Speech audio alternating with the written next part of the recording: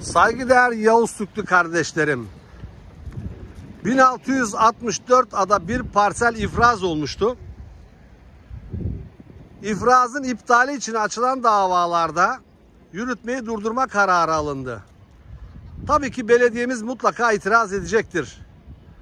Ama bir emlak uzmanı olarak sizlere büyük bir fırsat doğdu.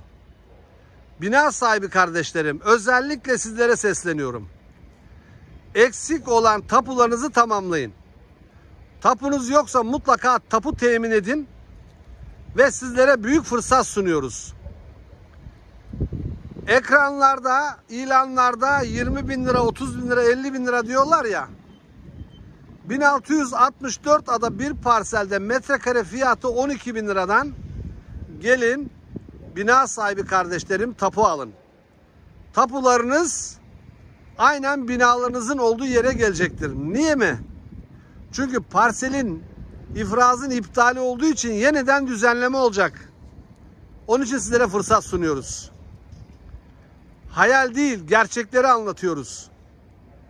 1664 ada bir parselde büyük fırsat. Bu fırsatı kaçırmayın. Metrekare fiyatı 12.000 TL.